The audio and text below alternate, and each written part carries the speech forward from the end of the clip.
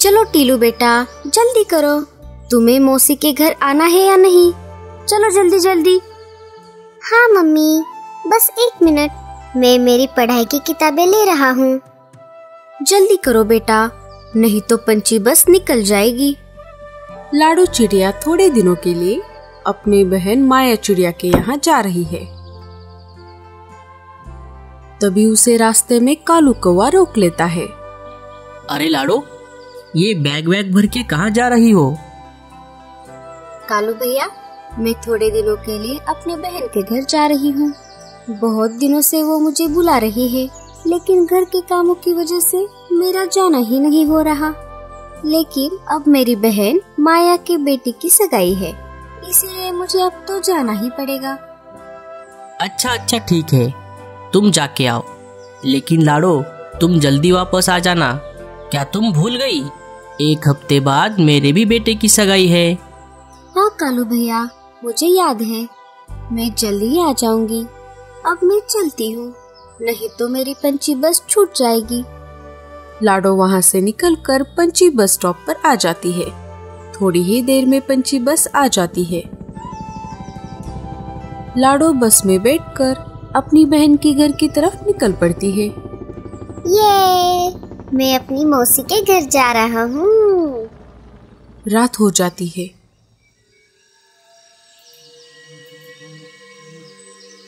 अरे वाह ये कौन सा जंगल है? इतने सारे पक्षियों के घोंसले देखकर मेरे तो मुँह में पानी आ गया। मैं बहुत देर से उड़ रही हूँ। कुछ दिनों के लिए मैं इसी जंगल के बाहर अपना डेरा बसा लेती हूँ। ha.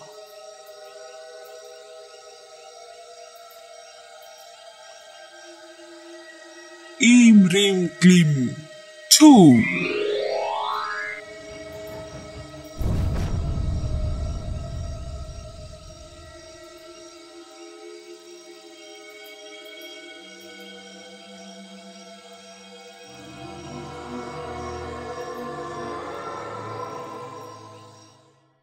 सुबह हो जाती है।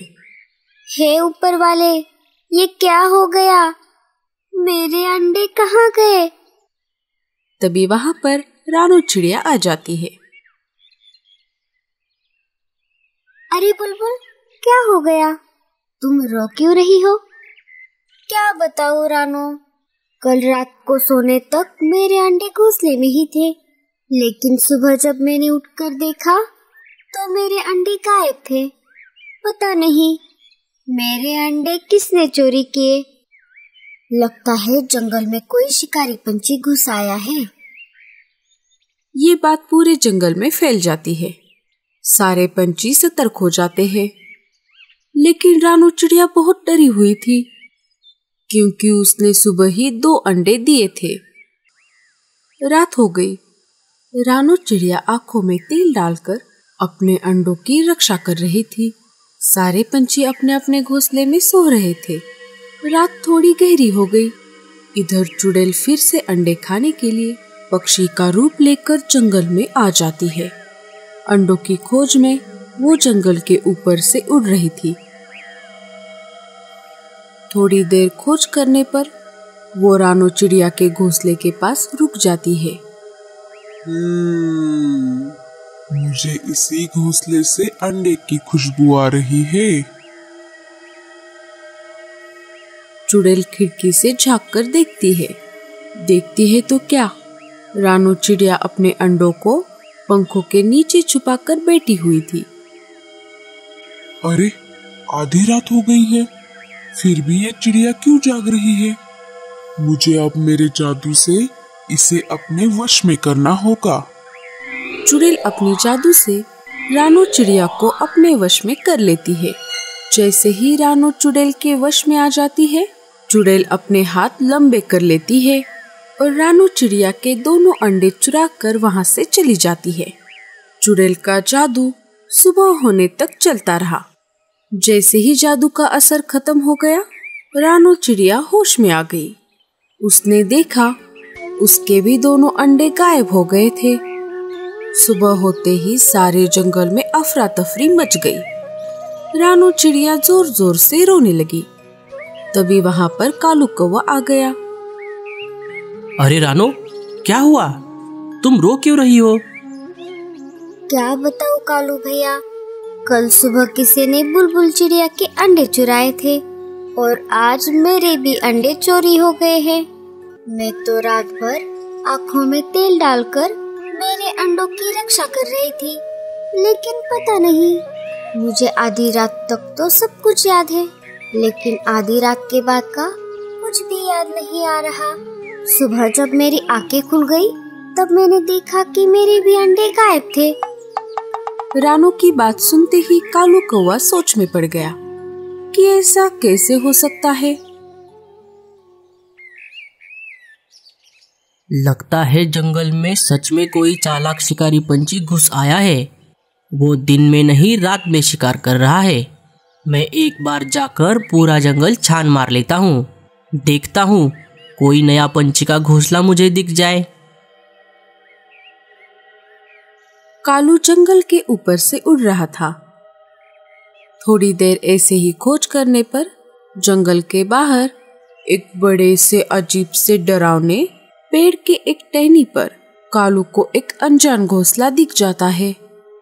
वो तो अच्छा हुआ कि उस वक्त वो चुड़ैल खाने की तलाश में घोंसले से बाहर गई थी। अरे, ये किसका घोंसला है? पहले तो ये घोंसला यहाँ नहीं था। मुझे घोंसले के पास जाकर देखना पड़ेगा। लगता है घोंसले में कोई नहीं है। मैं अंदर जाकर देखता हूँ, तभी मुझे सच्चाई का पता चलेगा। कालू चुपके से घोंसले के अंदर जाकर देखता है। अंदर जाते ही कालू की आँखें फटी की फटी रह जाती है। पूरे घोंसले में हड्डियों के कंकाल पड़े हुए थे, अंडों के छिलके और तंत्र मंत्र का सामान भी पड़ा हुआ था। कालू समझ जाता है कि ये कोई मामूली पंछी का घोंसला नहीं है। कालू एक सेकंड का भी वक्त ना गवाते हुए वहाँ से अपनी जान बचाकर निकल लेता है और पास वाली एक पेड़ की टहनी पर एक बड़े से पत्ते के पीछे छुपकर उस घोंसले पर नज़र रखता है। धीरे धीरे शाम हो जाती है, तभी वहाँ पर चुड़ैल पक्षी के रूप में उड़ते हुए आ जाती है। घोंसले के पास आते ही वो अपने असली रूप में आ जाती है और घोंसले के अंदर चली जाती है। ये सब नज़ारा कालू पास वाले पेड़ की टहनी पर बैठकर देख रहा था। अच्छा तो ये एक जादूगरनी चुड़ैल है। लगता है यही रात में जंगल में आकर पक्षियों के अंडे चुरा कर खा रही है। इसके पहले कि ये आज रात को फिर से किसी के अंडे चुरा कर खा ले उसके पहले मुझे इसे सबक सिखाना पड़ेगा। कालू सीधा वहाँ से निकलकर तंत्र मंत्र करने वाले जादूगर तोते के पास आ जाता है। कालू सारी बातें तोते को बता देता है। बस इतनी सी बात। मैंने ऐसे बहुत सारे चुड़ैलों को धूल चटाई है। रुको मैं अभी तुम्हें इसका उपाय बताता हूँ। जादूगर तोता अपनी पोटली से बड़ा सा जादुई अंडा निकाल लेता है और कालू के सामने रख देता है। कवे मेरी बात ध्यान से सुन। ये कोई मामूली अंडा नहीं है। ये एक जादुई अंडा है। अब तुझे सिर्फ़ एक काम करना है। कैसे भी करके तुम्हें उस चुड़ैल को इस अंडे के पास लेकर आना होगा। और जैसे ही वो चुड़ैल इस अंडे को छू लेगी, वो तुरंत इसके अंदर कैद हो जाएगी। उसे इस अंडे तक कैसे लाना है, ये मैं अच्छी तरह से जानता हूँ। आप बस ये अंडा यहीं पर रख दीजिए। और यहीं कहीं आसपास छुप जाइए। अगर वो यहाँ आ गई और उसके अंडे को छूने पर भी अगर वो इसके अंदर कैद नहीं हुई तो आप कोई दूसरा जादू करके उसे कैद कर लेना। ठीक है अब जल्दी जाओ और उस चुड़ैल को यहाँ तक लेकर आओ। रात हो गई थी सारे पंछी सो गए थे। इधर कालू चुपके से चुड़ैल के घोंसले के खिड़की के पास आ जाता है। और बड़बड़ाने लगता है। सुना है जंगल के उत्तर दिशा में बरगद के पेड़ के पास जो झरना है उसके पास ही एक शुतुरमुर्ग ने ताज़ा ताज़ा अंडा दिया है। शुतुरमुर्ग का अंडा कितना बड़ा होता है और खाने में भी उतना ही स्वादिष्ट। मैं अभी जाता हूँ और उस अंडे की दावत उड़ाता हूँ। कालू वहाँ से निकल जाता है। कालू की ये सारी बातें चुड़ैल अंदर से सुन रही थी। अरे वाह, आज तो मज़ा ही आ गया। कितने दिन हो गए, मैंने शतुरमुर्ग का अंडा नहीं खाया। मुझे शतुरमुर्ग का अंडा बहुत पसंद है। इसके पहले कि ये कौवे का पिल्ला उस अंडे को खा ले, मैं उसके पहले ही वहाँ पर चली जाती हूँ। चुड़ैल बिना अपना रूप बदले घोंसले से निकल पड़ती है और कालू के पहले ही अंडे के पास आ जाती है। जैसे ही वो अंडे को छू लेती है, वो उस अंडे के अंदर कैद हो जाती है। तो दोस्तों, कैसी लगी आपको हमारी ये कहानी? दोस्तों, ये कहानी यहाँ पर ही खत्म नहीं होती। अगर आपको इसका अगला पार्ट देखना है तो हमें कमेंट्स में ज़रूर बताना। और ये स्टोरी अच्छी लगे तो लाइक और शेयर ज़रूर कर देना।